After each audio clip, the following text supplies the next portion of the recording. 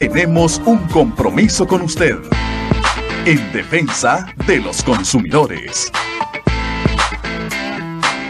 El servicio de energía eléctrica es útil e indispensable Actualmente el uso de la electricidad es fundamental para realizar gran parte de nuestras actividades. Gracias a ello tenemos una mejor calidad de vida. Sin embargo, la importancia de legalizar este servicio público es tanto que garantiza una mejor cobertura en la comunidad. El ahorro es un elemento fundamental para el aprovechamiento de los recursos energéticos. Además, el pago equitativo de acuerdo a los kilowatts utilizados puede ser un índice de mayor aprovechamiento para la misma familia. Usar eficientemente la energía eléctrica significa un cambio de hábitos y actitudes que pueden favorecer para una mayor eficiencia en el uso, tomando como referencia los índices de la economía familiar y los gastos que conlleva. Para cerciorarse de la legalización, la compañía suministradora de luz verifican que una instalación eléctrica existente cumple con la normativa vigente antes de la concesión de un nuevo suministro. Quédese en la siguiente entrevista donde abordaremos este tema. Christopher Guevara, Acción 10. Así es, Christopher. Hoy es miércoles y vamos a debatir en defensa al consumidor sobre los altos costos de la tarifa energética y su impacto en los hogares. Y para ello nos acompañan dos expertos, el economista Luis Murillo y también Juan Carlos López de Defensa del Consumidor. Muchas gracias por acompañarnos a ambos. ¿Cuál es el principal beneficio que le ha otorgado el gobierno a través del INE a los consumidores, tomando en cuenta de que hay una cantidad de personas, 800 mil personas, que consumen menos de 150 kilovatios hora al mes. ¿Realmente esto compensa eh, los altos costos de la tarifa energética en el sector residencial? Bueno, fíjate que Jimmy y mi amigo Luis de igual forma, tenemos tres planteamientos básicos. En el tema uno es que bueno, beneficio generalizado a nivel de país es que hay bastante cobertura del sector eléctrico. Es un beneficio que realmente hay que decirlo es positivo.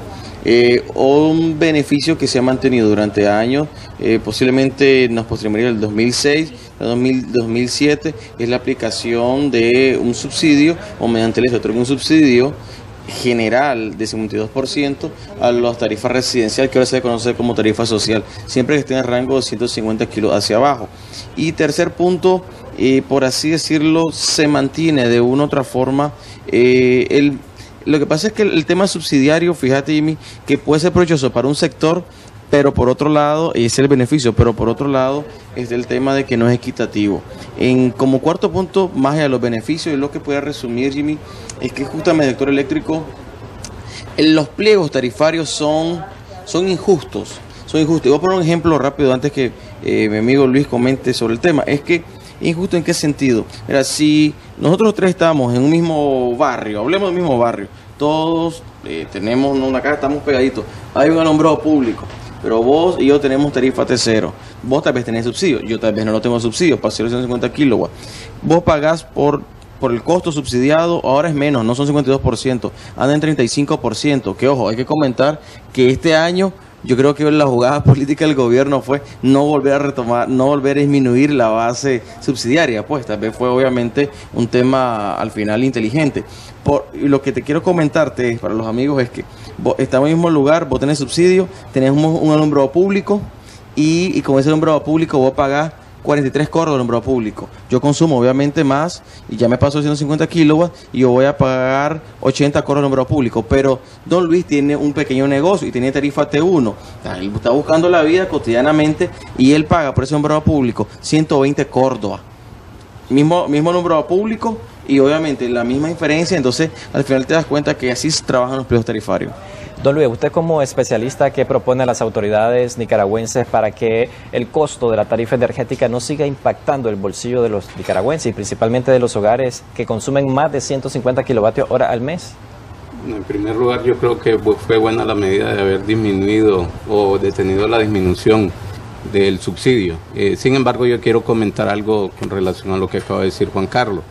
A ver, en economía normalmente eh, hay unos modelos oligopólico, es decir, hay pocas empresas que están en el sector y ellos lo que hacen es segmentar a los diferentes tipos de consumidores.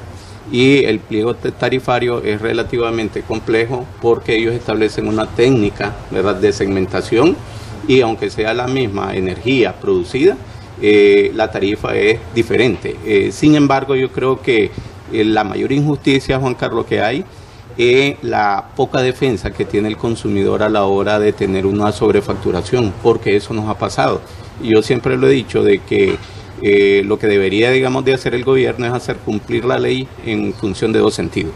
De exigirle a las empresas que cumplan con la verdadera cobertura y además con los reclamos que establecen, porque el problema fundamental es de que cuando vos reclamás, te llega la inspección y al final te dice eso es y ese es su consumo.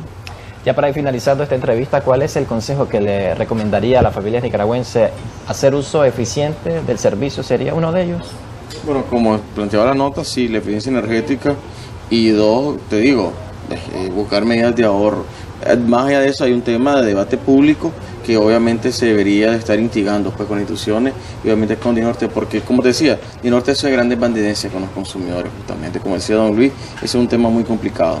En su caso, lo, último que recomendaría, don Luis. Yo lo que recomendaría es de que eh, con la defensa del consumidor eh, realmente se le permitiera al consumidor defenderse, porque está manos arriba.